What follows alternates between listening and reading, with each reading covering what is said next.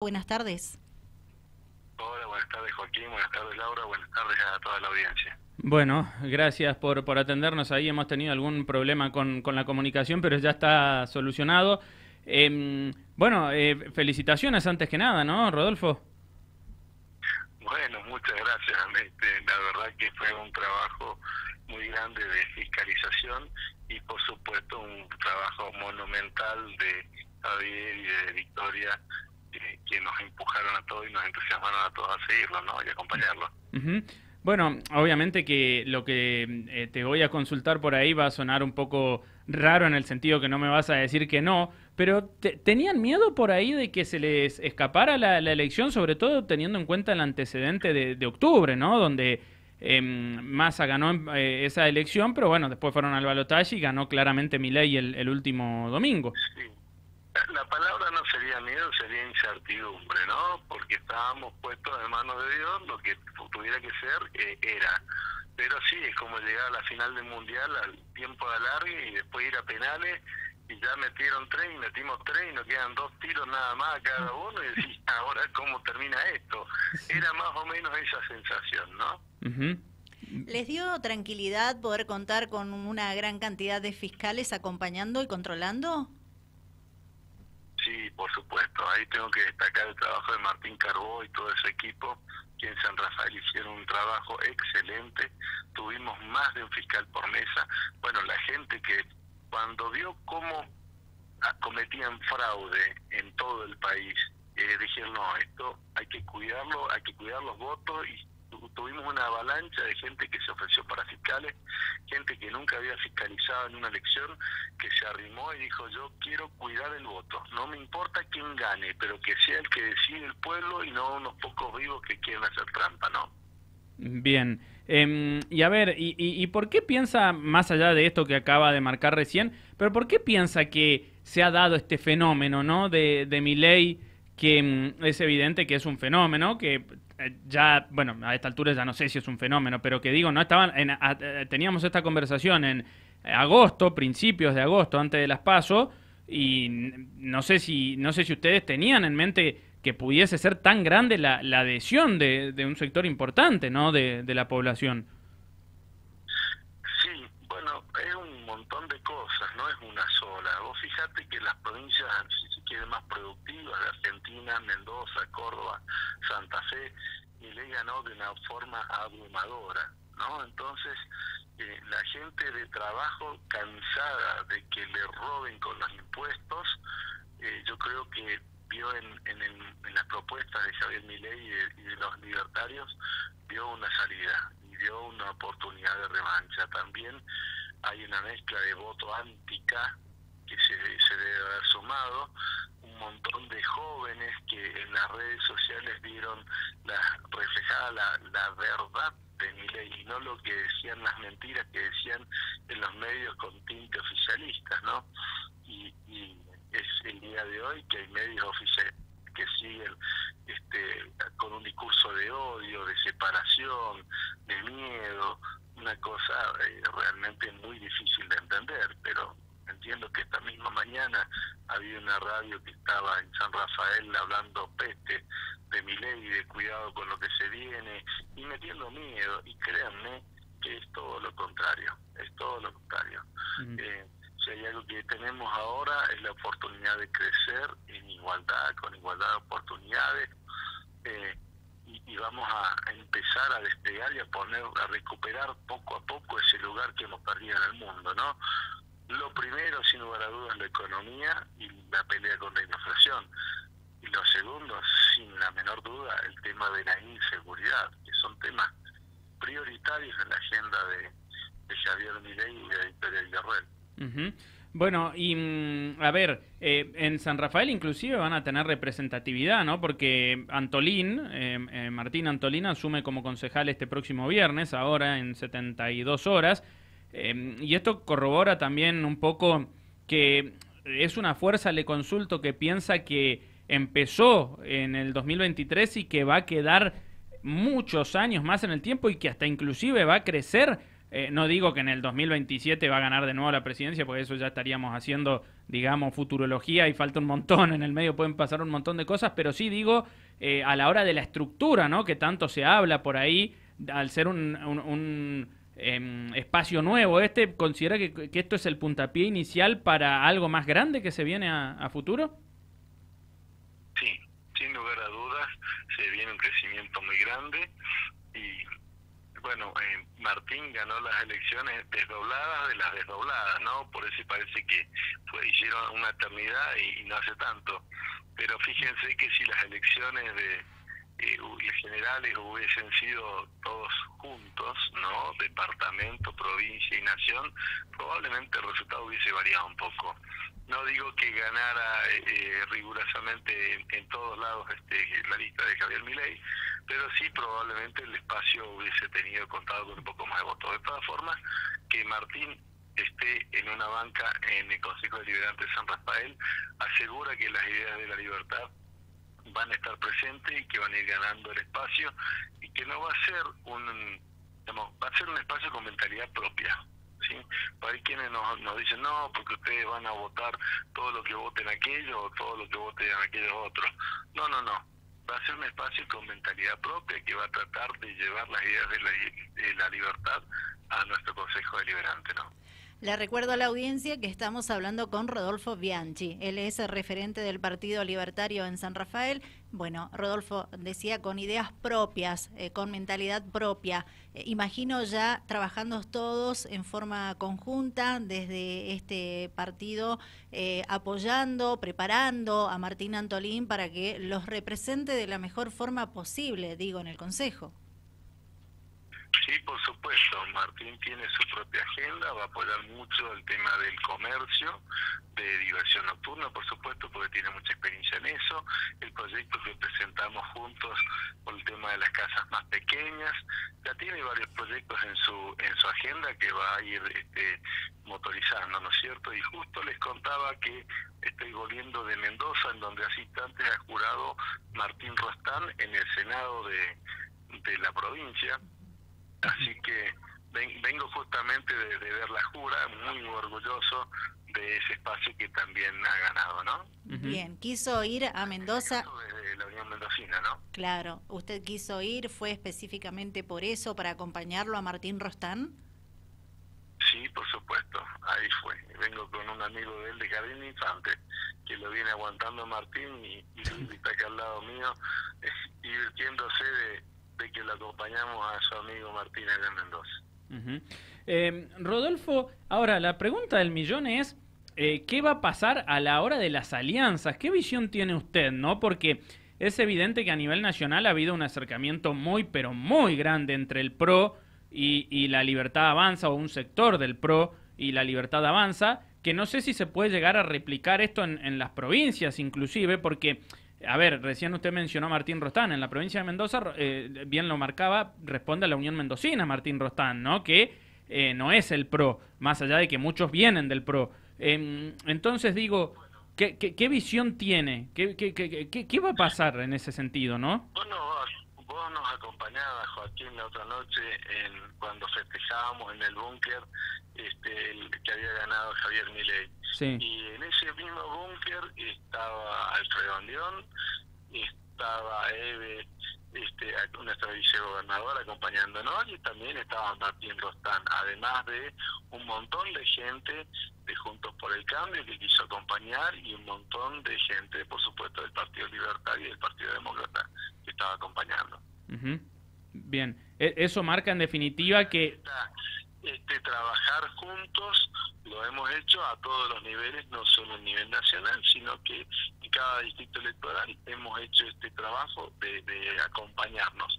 Ahora, fíjate que recién decías alianza, no es una alianza lo que hemos hecho, lo que ha habido es un ofrecimiento incondicional por parte de Juntos por el Cambio de apoyarnos. No pidieron absolutamente nada a cambio Mm. Entonces, nosotros vamos a gobernar con la idea que tenemos sin ningún tipo de condicionamiento. Por supuesto, en donde veamos la oportunidad de acercar a personas que son muy valiosas a nuestro espacio, por supuesto que lo vamos a hacer, ¿no es cierto? Bueno, usted está haciendo referencia a personas muy valiosas. Yo creo que se mostraron muy bien acompañados eh, por la vicegobernadora eh, electa, Eve Casado. Digo, eso es muy favorable para ustedes. Es una confianza importante contar con ella mencionaba recién, y Casado nos estuvo acompañando no solo la noche de las elecciones, sino el fin de semana anterior, justo el sábado anterior al debate, en que hicimos una pequeña, este, quisimos hacer una foto junto con todos los fiscales que nos acompañaron, ahí también estuvo Eve Casado acompañándonos, y recién cuando juraba Martín eh, en el Senado, fue una de las primeras en, en saludarnos y en dejarnos su afecto. Ahora, eh, usted hablaba que no habrá ningún tipo, tipo de em, condicionamiento, pero mm, digo, eh, no, yo, yo, no digo que sí, pero me refiero que es evidente que, por eso le consultaba de las alianzas, teniendo en cuenta que a nivel nacional ya se está viendo con ciertos nombramientos de mi ley que eh, proviene de gente del PRO, ¿no? Es correcto, como te decía, no hay alianzas, la oferta este, fue incondicional. Ellos dijeron, Patricia Bullrich ofreció su este, apoyo incondicional, Mauricio Macri lo mismo. Eve, cuando se arrimó nuestro espacio, fue exactamente lo mismo. Nos ofreció ayudarnos a fiscalizar, a todo lo que nos hiciera falta, sin poner ni una sola condición. Avancemos y consigamos erradicar al kirchnerismo. Esa fue la, la, la propuesta este, de, dicho en, en, no positivo, ¿no? Eh, y, y, hoy lo que estamos haciendo es tratar de llenar los cuadros que hacen falta en gobierno con el, el la persona idónea, la más valiosa que encontremos para ocupar el cargo, sea del espacio, sea de otro espacio, sea alguien que nunca hizo política, lo que se busca es que quede un, experto, un profesional en cada sector, es la tarea inmensa que se está llevando adelante en este momento. Bien. Eh, bueno, y usted particularmente, Rodolfo, ¿qué, qué, va, ¿qué va a hacer? Porque a ver, hablamos de que Gonzalo Antolín resultó electo concejal, que Martín. que, mm, que Martín Antolín, perdón, que Martín Antolín resultó electo concejal, que eh, Milei ganó la presidencia, usted fue candidato a intendente, eh, obviamente ganó acá mm, Omar Félix, pero eh, usted ya, ya está obviamente en todo el, aparato de la Libertad Avanza. ¿Cómo van a ser sus próximos días, sus próximos meses?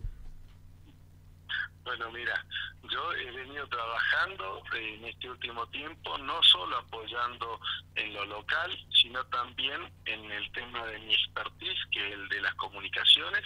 Yo he estado asesorando un equipo en innovación que trabajó el tema de comunicaciones y que está trabajando el tema de comunicaciones. He ofrecido a colaborar en donde haga lugar, donde sea necesario, pero yo te diría que para ser gráfico estoy sentado en el banquillo de los suplentes. Si hago falta, me llaman. Si no hago falta, sigo tranquilo, no tengo ninguna necesidad ni ninguna aspiración personal en ese sentido. No es que me vaya a sentir mal si no me llaman a formar, a integrar parte de este gobierno. Ah, La ah, verdad es que ahora con todo el, el, gusto, apoyo si hace falta y si no, eh, insisto, la, la misión mía, el objetivo mío, como la de muchos argentinos de bien, era conseguir que Javier y Victoria ganaran la presidencia. Ahora, Rodolfo... con eso estoy más que realizado. Y el otro día que salimos a hacer la caravana, el afecto de la gente, con eso me siento sobradamente pagado. Créeme que con eso me sobró. Rodolfo, eh, ¿con quién hablamos, Laura? Con Rodolfo Bianchi, referente del Partido Libertario. Sí, a ver, obviamente entiendo eh, perfectamente lo que usted dice, pero ahora eh, yo, o sea, usted, yo no soy usted, ¿no? Pero digo, si yo fuese usted, eh, usted se cargó la, la, campaña al hombro acá en San Rafael, desde fue de los primeros, ¿no? Que se, que, se, que se la cargó, debe haber recibido inclusive un montón de críticas. Digo, mínimamente nos, está perfecto lo que usted dice, es, es protocolar, por cierto, pero digo, ¿no le gustaría formar parte de no es protocolar. Mi papá y mi mamá me enseñaron así, yo estoy muy orgulloso.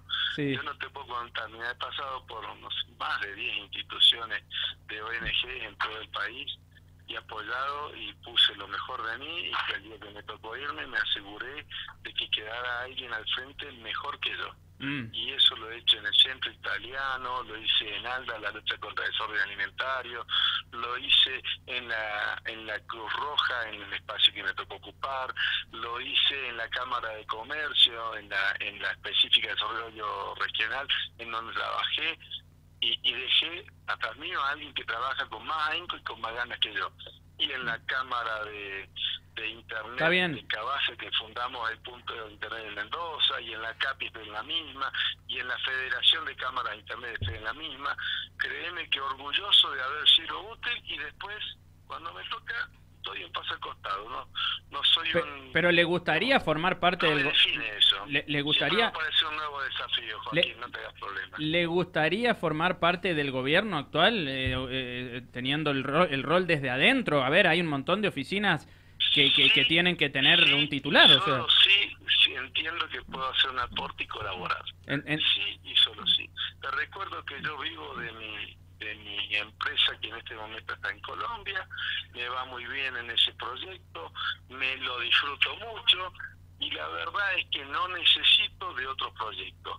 Ahora, si yo veo que puedo colaborar, pero qué orgullo, Ya Mm. te insisto, me, me, me encanta que la gente me salude con afecto, que valore el poco aporte que pueda hacer y siempre que hago algo lo pienso este, de que mis viejos estén orgullosos de mí. Esa es la verdad, es que me- es muy... mm, es lo que me llena. Mm. Bueno, ¿y y cómo ve eh, todo este anuncio, obviamente de mi ley, ¿no? Referido a la privatización de IPF, de los medios públicos, ¿no? Que em, acá en San Rafael, por ejemplo, no sé, LB4 sería el- un medio público, ¿no? Por ejemplo. Sí. Mira, son temas que se van a ir definiendo eh, poco a poco.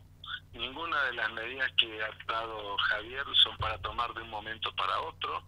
Él ha sido muy claro de que su programa, su proyecto, eh, te habla de 35, 40 años. Entonces hay un montón de conceptos que él los explicó porque él es un verdadero estadista, él tiene una visión de una Argentina de largo plazo y lamentablemente los argentinos no estamos acostumbrados a eso.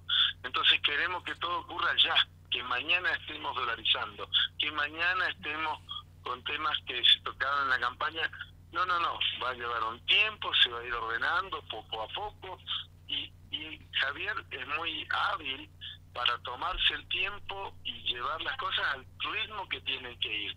Fíjate que él ha ido anunciando funcionarios muy, muy de a poquito.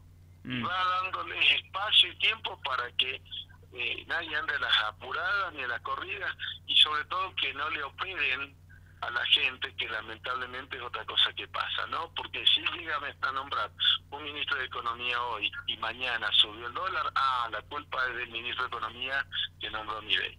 Entonces, para que no pasen ese tipo de cosas, muy lentamente va a ir nombrando algunas este, algunos cargos en algunas pos- posiciones en donde despacito nos va a ir contando para que nadie se asuste ni se apure.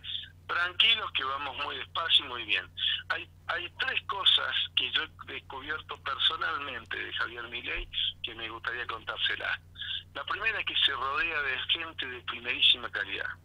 Victoria Villarroel, Diana Mondino, Guillermo Franco, mira, un montón de personas que no hay que explicar quiénes son, que Mm. tienen hinchada propia, digamos, ¿no?